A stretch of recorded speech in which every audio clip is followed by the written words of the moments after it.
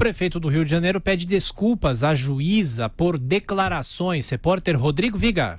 Depois de ser muito criticado por representantes do Poder Judiciário e da Associação de Magistrados aqui do Rio de Janeiro, o prefeito da cidade, Marcelo Crivella, decidiu dar um passo atrás e pedir desculpas à juíza Mirela Herbist, responsável pela interdição desta avenida aqui, a Avenida Niemeyer, que faz a conexão, uma ligação entre a Zona Sul e a Zona Oeste do Rio de Janeiro. Ela está interditada desde maio deste ano, por motivo de segurança, risco de deslizamentos e desabamentos. Esse ano, inclusive, um deslizamento de terra soterrou um ônibus, matando duas pessoas em um período de chuvas. Desde maio, Aria Maia está interditada, complicando ainda mais o trânsito nessa ligação entre Zona Sul e Zona Oeste do Rio de Janeiro. Por aqui, antes da interdição, passavam quase que diariamente 40 mil veículos nos dois sentidos. Na semana passada, o prefeito do Rio de Janeiro, Marcelo Crivella,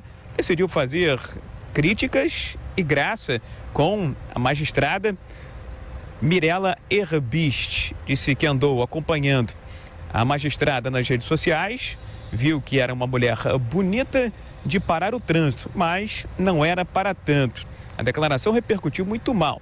No final de semana, o Tribunal de Justiça do Rio de Janeiro chegou a dizer, inclusive, que a posição do prefeito Marcelo Crivella, além de machista, era uma espécie de afronta à democracia.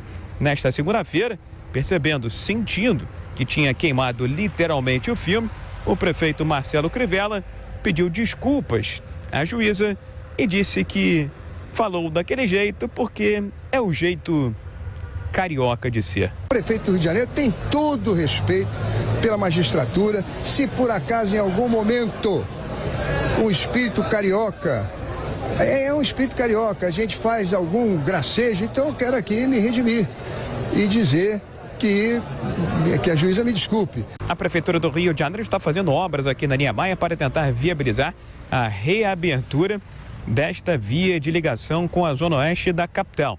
Mas a Justiça só deve apreciar os novos pedidos da Prefeitura no mês que vem. Do Rio de Janeiro, Rodrigo Viega. Olha, o Marcelo Crivella está se especializando em falar bobagens. Né? Não sei se essa faz parte da agenda política, se tem alguma estratégia por trás disso, ou é simplesmente deixar que aquilo que ele pensa vá direto para a boca sem qualquer filtro.